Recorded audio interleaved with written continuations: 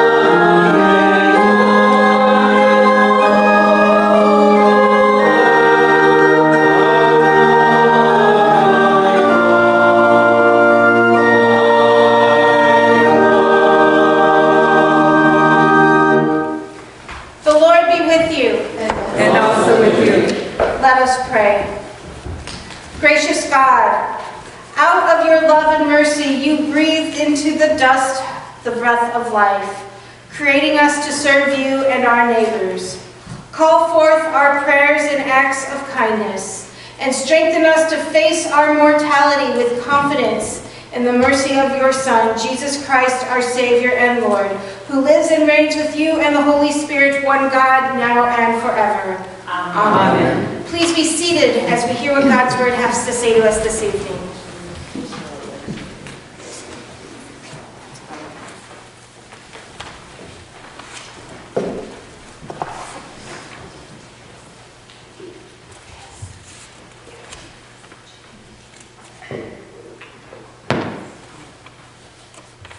A reading from Joel. Will, a reading from Joel. Will the trumpet in Zion sound the alarm on my holy mountain? Let all the inhabitants of the land tremble, for the day of the Lord is coming. It is near a day of darkness and gloom, a day of clouds and thick darkness, Like blackness spread upon the mountains, a great and powerful army comes. Their like has never been from of old, nor will be again after them in ages to come. Yet even now, says the Lord, return to me with all of your heart, with fasting and weeping and with mourning. Rend your hearts and not your clothing. Return to the Lord your God, for he is gracious and merciful, slow to anger and abounding in steadfast love, and relents from punishing. Who wants, who knows whether he will turn and relent and and leave a blessing behind him, and great a grain offering and a drink offering for the Lord your God. Blow the trumpet in Zion, sanctify a fast, call a solemn assembly, gather the people, sanctify the congregation, assemble the age, gather the children, even infants at the breast. Let the bridegroom leave his empty room, and the bride her canopy. Between the vestibule and the altar, the, let the priests and the ministers of the Lord weep. Let them say, Spare your people, Lord, and do not make your heritage a mockery by a word among the nations. Why should it be said among the people, Where is God? Word of God, word of life. Thanks be to God.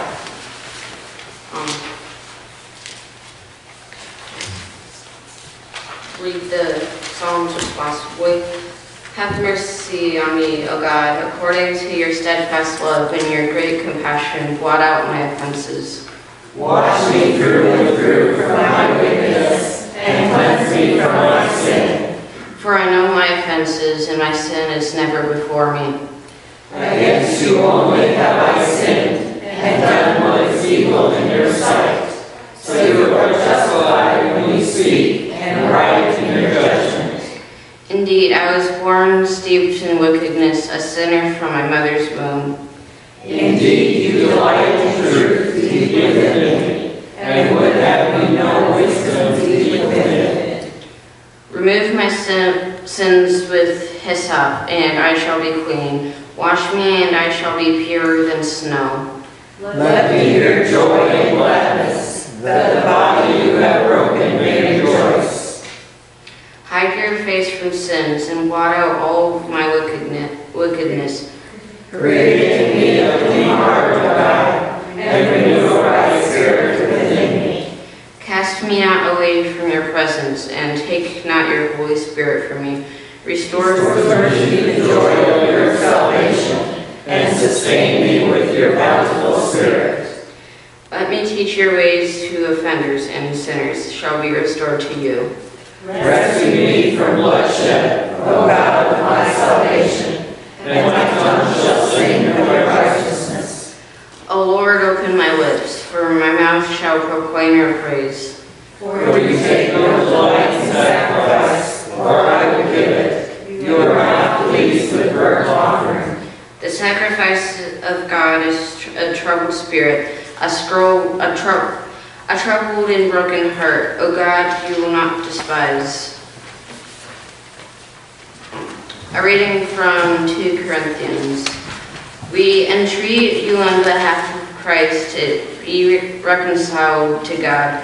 For sake of he made him be, to be sin who knew no sin, so that in him we might become the righteous of God, as we work together with him. We urge you also not to accept the grace of God in vain. For he says, it, At an acceptable time I have listened to you, and on the, a day of salvation I have helped you. See now it is see now is acceptable time. See now is the day of salvation. We are putting no obstacle in anyone's way, so that no fault may be found with our ministry. But uh, as servants of God, we have commended ourselves in every way through great endurance and affiliations, hardships, calamities, beatings, imprisonments, riots, labors, sleepless nights, hunger, by, by purity, knowledge, patience, kindness, holiness of spirit, genuine love, truthful speech, and the power of God. with, with the weapons of righteousness for the right hand and for the left, in honor and dishonor, in, in ill repute and good repute. We are treated as impostors and yet are true, as unknown and yet are well known, as dying in the sea we are alive, as punished and yet not killed, as sorrow yet always rejoicing, as poor yet making many rich, as having nothing and yet possessing everything. Word of God, word of life. Thanks be to God.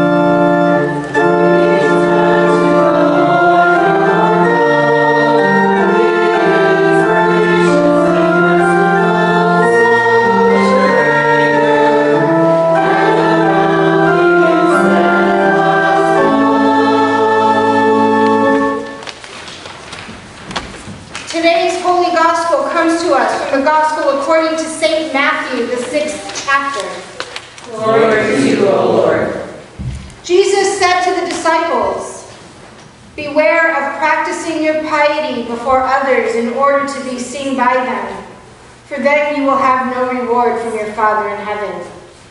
So when you give alms, do not sound the trumpet before you, as the hypocrites do in the synagogues and in the streets, so that they may be praised by others.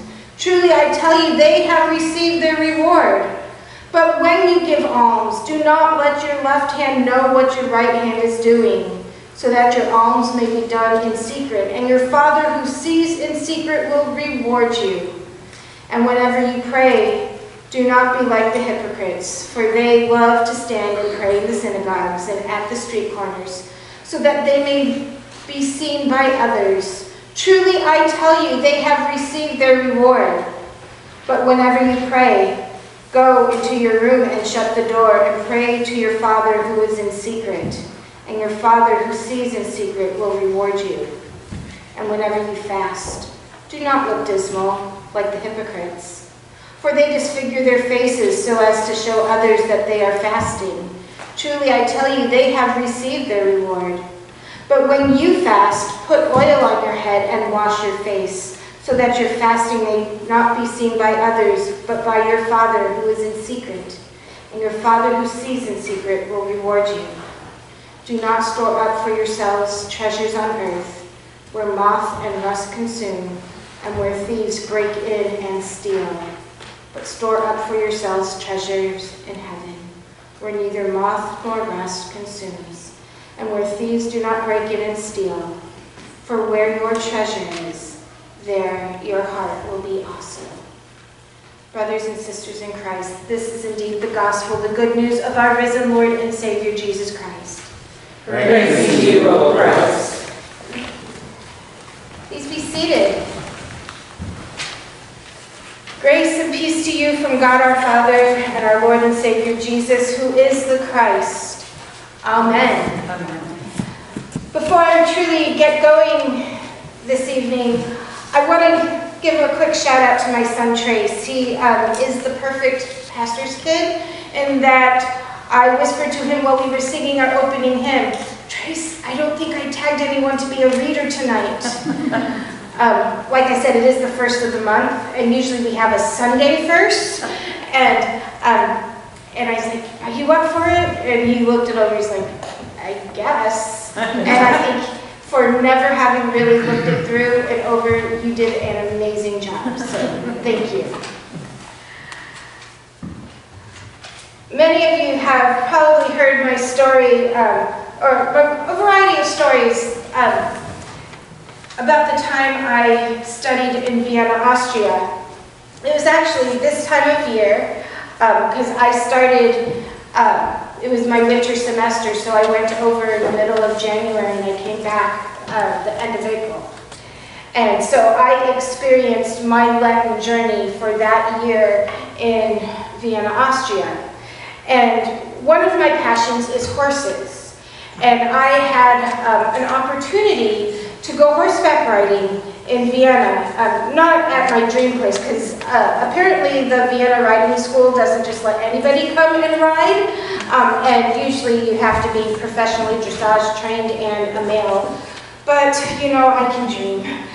Anyways, I had a, a friend of a friend who, um, on the outskirts of Vienna, let me come and ride his Haflinger pony. Now, a Haflinger pony might sound small, but they're sturdy and stocky horses, and they're pretty stout. And he told me, when you get on, he's going to test you. He's going to say, let me lead and you follow, but you have to remember you're the boss. So if he starts going somewhere you don't want to go, you take your hand and you lean forward and as hard as you can, whap him upside the neck and say, pass auf, which means pay attention. I didn't really think about having to talk to my horse in German, but apparently when in Austria, do as the Austrians. And there were a few moments where my horse and I had to come to Jesus moment, and I had to lean forward and whack him upside the head and say, pass auf. Pay attention. Listen to me. I think Ash Wednesday and our season of Lent is our pass auf moment. This is the time in our lives where we pay attention to what God is doing in our lives. We pay attention to the brokenness and the woundedness from our own humanity, a sinner from our mother's womb, broken. And we pay attention to our brokenness and the reason why Jesus had to come in the first place. Lent is a long and dusty road. And on this journey, we reflect on those who have gone before us and those who will come after. On the road before us, we have our ancestors in the faith, like Adam and Eve, Abraham and Sarah, Jacob and Joseph, Moses, the kings like Saul and David and Solomon, and the prophets like Isaiah and Jeremiah. And I'm not even touching all of our Old Testament people that we talk about in confirmation that this whole past fall. We get into the New Testament and we've got the first disciples from Judas and James and John and Peter. We've got Mary and Martha and Lazarus. We've got St. Paul, we've got Lydia, we've got Tabitha, we've got Dorcas, and the countless and often nameless others, including our own grandmas and grandpas, aunts and uncles, and loved ones who have now completed their journey through life and rest from their labors.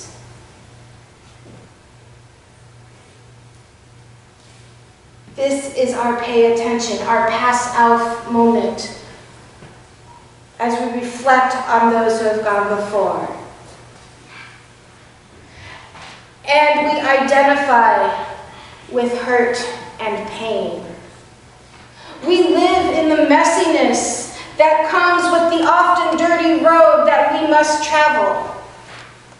Not just our own hurts, or broken hearts, or broken relationships, or broken marriages, or illnesses, or sibling rivalry, drama that happens at work. We also have society drama. How we handle our politics as a society, how we've handled the pandemic, how we care for the poor and needy. Then there are wars and talks of wars and I know my mind has been on the invasion of Ukraine by Russia and the stories of people fleeing and the courage of those going to the danger areas. We have too many refugees. We've got world hunger. We have a broken world. This Sunday, we're going to be starting our season of creation, talking about the brokenness of God's creation and the amazing ways that we participate in creation and can participate with God in healing our broken world. Our past Alf moment involves identifying with hurt and pain.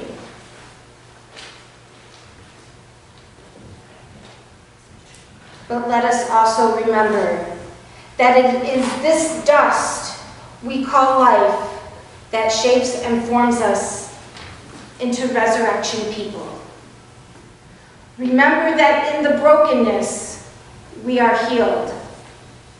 While the journey is long and tiresome, resurrection promises are greater. In our dusty walk, we claim the promise of new sandals and clean garments. As we walk dusty, we remember, we pay attention that we have come from dust, and to dust we shall return.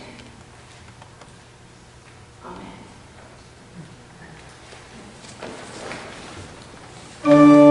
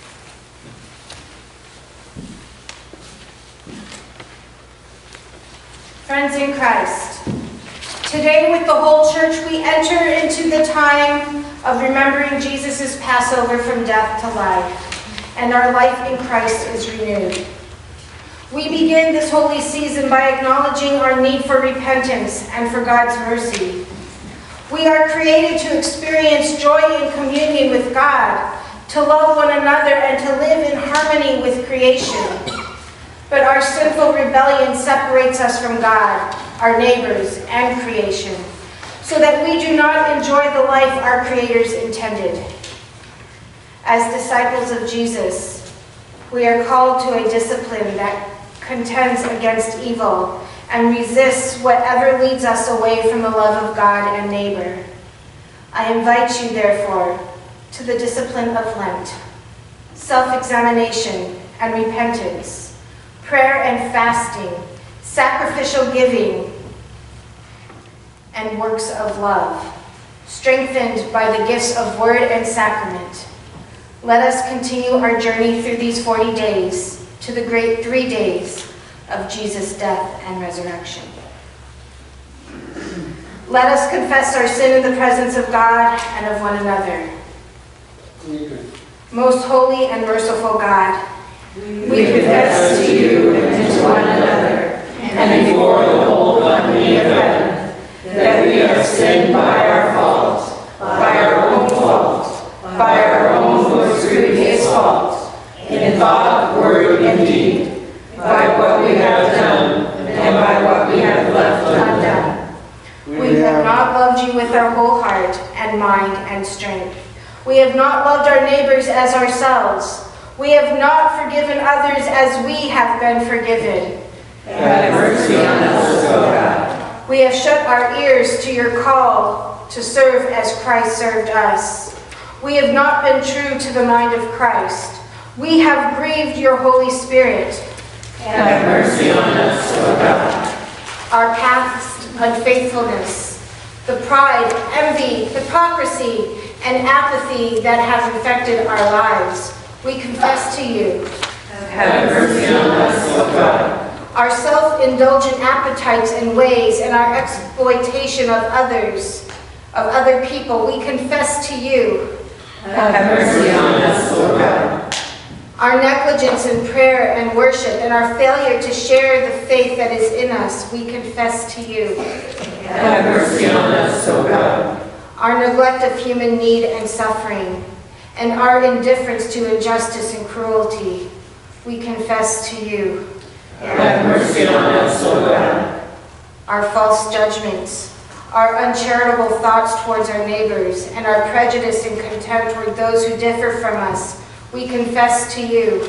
Have mercy on us, O God. Our waste and pollution of your creation, and our lack of concern for those who come after us, we confess to you. Have mercy on us, O God. Restore us, O God, and let your anger depart from us. Hear us, O God, for your mercy is great.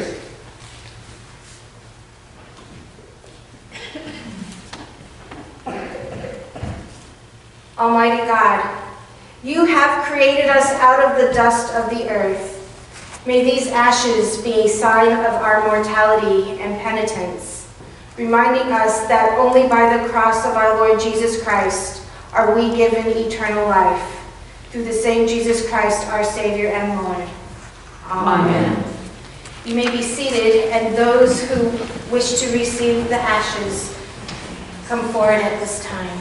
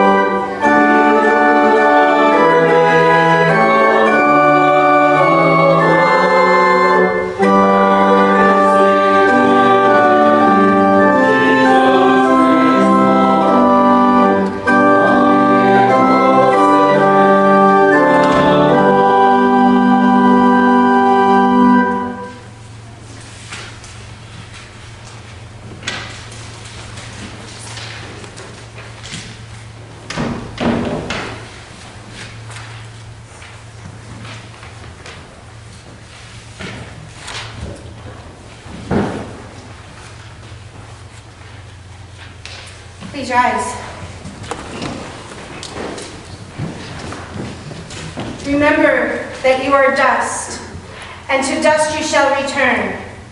Accomplish in us, O God, the work of your salvation. That we may show forth your glory in the world.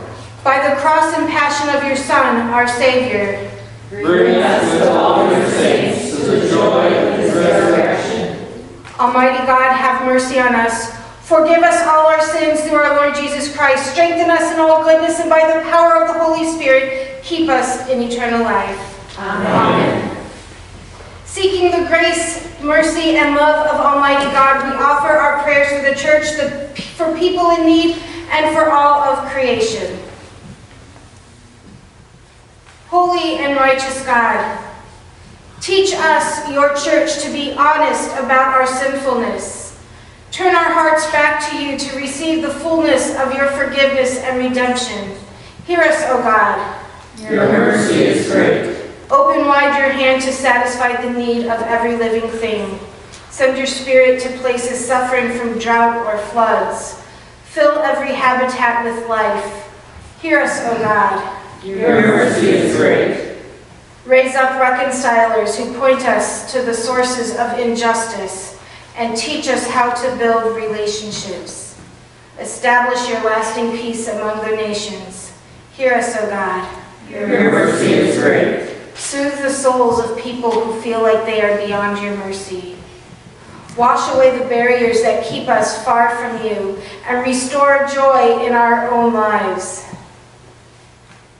Be near to those who are struggling with health concerns, especially Betty, Dick, Myrna, Jeanette, Linda, Chuck, Carl, Doreen, Phil, Ryan, Keith, Gary, and Jeremy. Hear us, O God. Your mercy is great. Fill our fasting bodies with your spirit of justice. Lead us into the challenging work of feeding and freeing all people. Fulfill your purpose in us. Hear us, O God. Your mercy is great. Reveal the treasures of heaven through the witness of all your saints. Give us the will to journey faithfully and to bear Christ's salvation to all who yearn for it. Hear us, O God. Your mercy is great. Reveal your will as you receive our prayers and conform our ways to your ways. Through the saving work of Jesus Christ our Lord. Amen. The peace of the Lord be with you always. And also with you. At this moment, I invite you to creatively share God's peace with those around us this morning. God's peace be with you, everyone.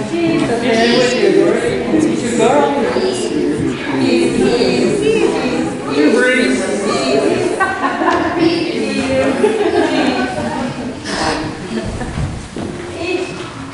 Our giving is an act of worship, and at this time, we receive our offering.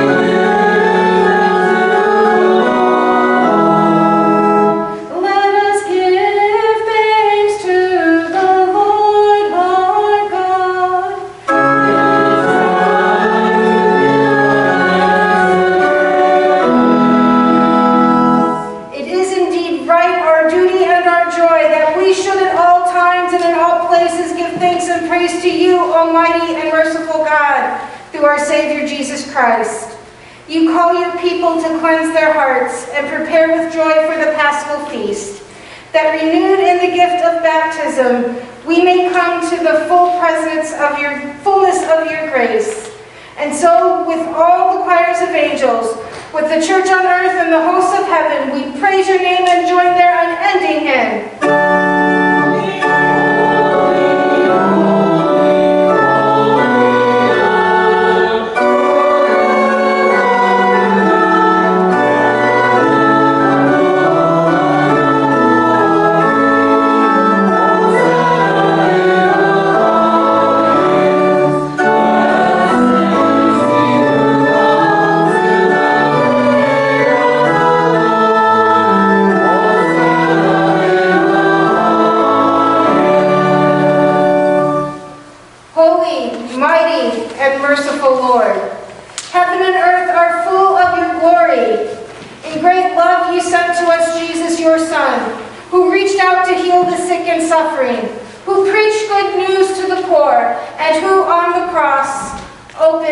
His arms to all.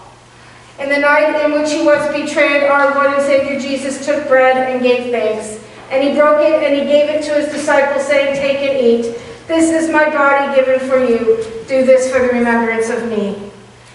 Again, after supper, he took the cup, gave thanks, and gave it for all to drink, saying, This cup is the new covenant of my blood shed for you and for all people for the forgiveness of sin. Do this for the remembrance of me. Remembering, therefore, his death, resurrection, and ascension, we await his coming in glory. Pour out upon us the spirit of your love, O Lord, and unite the wills of all those who share this heavenly food, the body and blood of Jesus Christ, our Lord, to whom with you and the Holy Spirit be all honor and glory, now and forever. Amen. Lord, remember us in your kingdom and teach us to pray.